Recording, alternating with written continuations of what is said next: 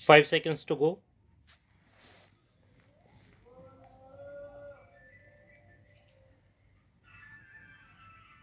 Start.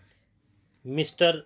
Deputy Speaker, Sir, I am very glad that I have the opportunity to take part in the discussion on the demands for grants in respect of the Ministry of Labour.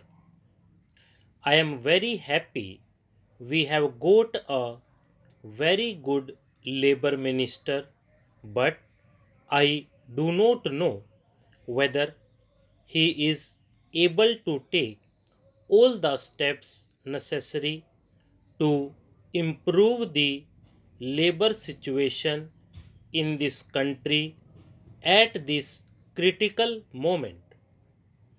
The Industrial Policy Resolution of 1956 clearly mentions that in the process of rapid industrial development, labor assumes a vital role to establish a socialistic pattern of society. The main problems facing the working class are of getting adequate wages, essential commodities at prices they can afford, some short of shelter and cloth. The government minimum needs program has hardly reached the working class. The vast majority of laborers are unable to make both ends meet.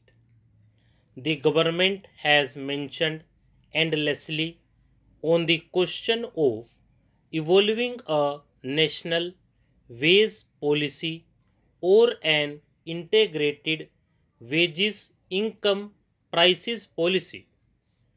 In the labor ministers conference some time back it was suggested that steps should be taken to enforce the minimum wages in the different industries. It was also suggested that non implementation of minimum wages should be declared as a cognizable offense and the offenders should be arrested. However, it had been agreed at the conference that more deterrent punishment should be given to the offenders and that the act should be amended suitably. Necessary changes should have been made in the central legislation by this time. The Industrial Disputes Act had become outdated and it should be completely overhauled. It has been claimed that the emergency has brought discipline among laborers and the production has been increased. Yes, it is a fact, but the laborers are forced to work and they are forced not to take part in the trade union activities. The trade union rights have been completely taken away from the labor. But, sir, I want to impress upon the minister that motivations for work should not be imposed from outside, but it should come from within. A contented labor force is an asset to the development of industries. You have taken away the permitted bonus. Some time back, this parliament passed an act to fix the minimum bonus at 8.33%. But the same act was adversely amended by the same parliament some time ago. Bonus was accepted by this government as a deferred wage, but the same government has reversed the conception of bonus and this government says that bonus is a deferred wage but it is connected with production and productivity. But what about the owners of industries? Do you know how much have they reduced the dearness allowance of the workers nowadays? Not only that, a number of companies have been held guilty for failure to deposit the provident fund money and also for mishandling the amount due to employees.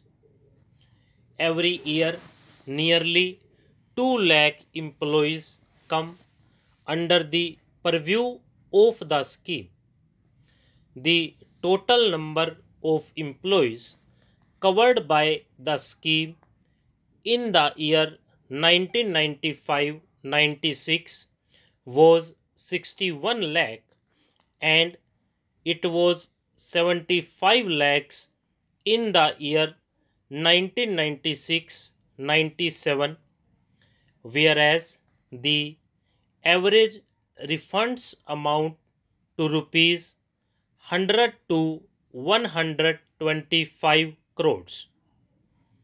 The gross contribution to the fund was expected to reach rupees 58 crores in 1995-96 from rupees 51 in 1996-97 whereas the refunds to the employers or an average is rupees 10 to 12 crores. Naturally, such a situation calls for stringent regulation and control over the operation and administration of funds. If the administration of the Provident Fund scheme at various levels has to be really advantageous to the employees, there should naturally be regional offices which could directly deal with members of the fund who go in for advances, loans, etc. The present situation has offered an opportunity for the government to make necessary meaningful changes in a number of legislative measures which seek to protect and regulate the rights and working conditions of industrial workers and other employees. In fact, several clauses of the legislative measures have little relevance to the present day conditions. Regarding the Apprenticeship Act, once our Prime Minister said in the State Labour Ministers' Conference that the Apprenticeship Act had not been implemented vigorously. It had not been given a trial. Utilization of apprenticeship opportunity or filling such vacancies has not been uniform in all the state. Creation of skilled manpower has lagged behind the limits of possibilities.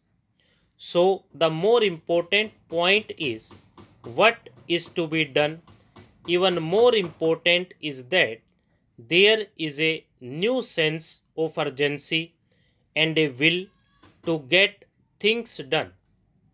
With regard to this, the basic problem relates neither to the number of apprentices nor to the value of their stipends. We hope that the government shall do its best to alleviate the feelings of labor and take steps for that. Stop.